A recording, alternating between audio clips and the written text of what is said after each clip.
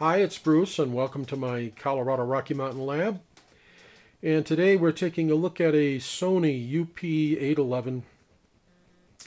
It's a, uh, a thermal uh, printing device. It'll uh, print on thermal paper uh, any image that comes into it as a composite video image to the rear.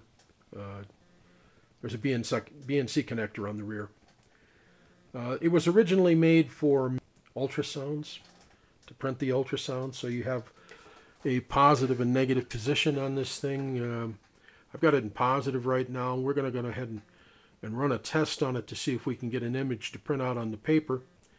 I'm going to connect it up to a, uh, a standard um, video camera with a um, an RCA connector that uh, is modified with a jack that goes to a BNC. And we're going to see if we can capture the image. I, so far, I believe everything seems to be working. The power's on, the paper loaded and, uh, and was feeding. Uh, I've got good hopes for this. We're going to see what happens. So bear with me and we'll hook her up.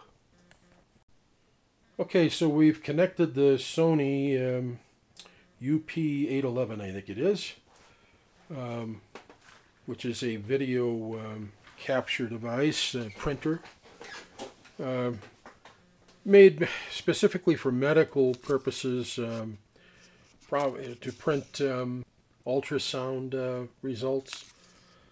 Um, but it uh, it will print positive or negative uh, photos, uh, whatever you can put into it that is a composite video. So like right now, I've got this thing hooked up to a camera. My camera is trained on my uh, Fluke 5200 over there. And uh, I just printed this picture of the, uh, of the Fluke up on the shelf, but we'll go ahead and do it again. I hit print.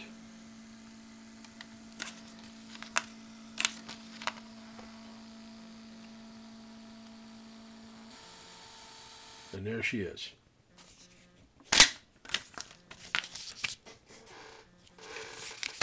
And it's actually a pretty decent image.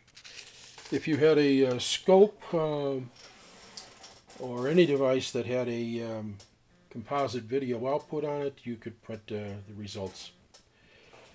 Uh, it comes with a roll of paper in it. I believe I have two extra rolls of paper that uh, came with it. I'll provide those as well. Um, I, I, imagine it's compatible. It, uh, it was with it. So um,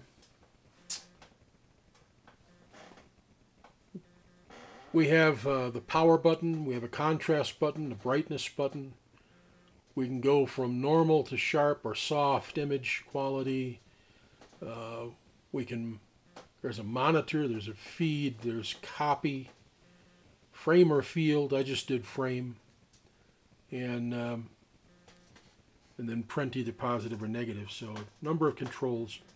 Looks like there should have been a, uh, a door on the front of the unit. The door is not here. I don't have it. Um, however, uh, long as you keep the paper from feeding back into itself there, you should be fine. And uh, there is enough uh, information on the web that you can find uh, how to feed the paper and so on. So happy bidding.